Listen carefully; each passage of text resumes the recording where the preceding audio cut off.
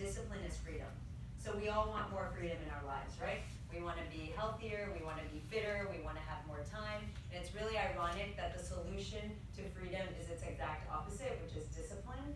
And so my advice to myself would be to start practicing discipline right away. So set realistic goals, stick to a routine that works for you, and execute consistently. Because what I've found in entrepreneur and even corporate life is it's not the best and the brightest, it's the people who execute are most successful, right? So execution is like, I feel like 90% of the battle.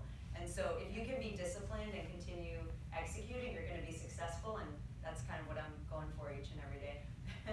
That's really good. Thanks, Tim Ferriss. Yeah. Yeah, Yeah, you